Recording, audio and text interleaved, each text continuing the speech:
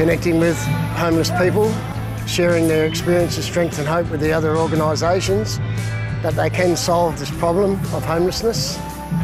Well, I've seen a great transformation just mean getting haircuts, having a nice clean shave, getting dental looked at, getting their health checked up through whatever sources that may be here for these lovely people on the streets.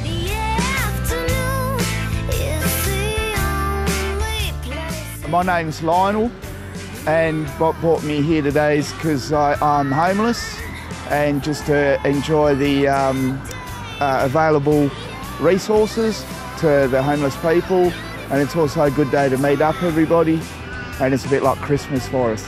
Generally like when you are homeless you, you don't really, uh, I'll say like think much of yourself you know what I mean? You don't care if you haven't had a shower for a couple of months or what you look like, what people think of you, where you sleep.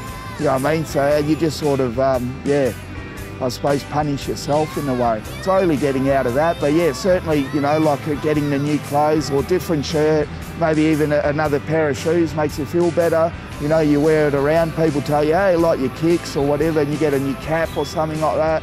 You know, like today with the haircut, everybody will notice with me because there's a bit of a change. But yeah, um, you do, you feel good. You feel like you're getting back into normal um, side of life.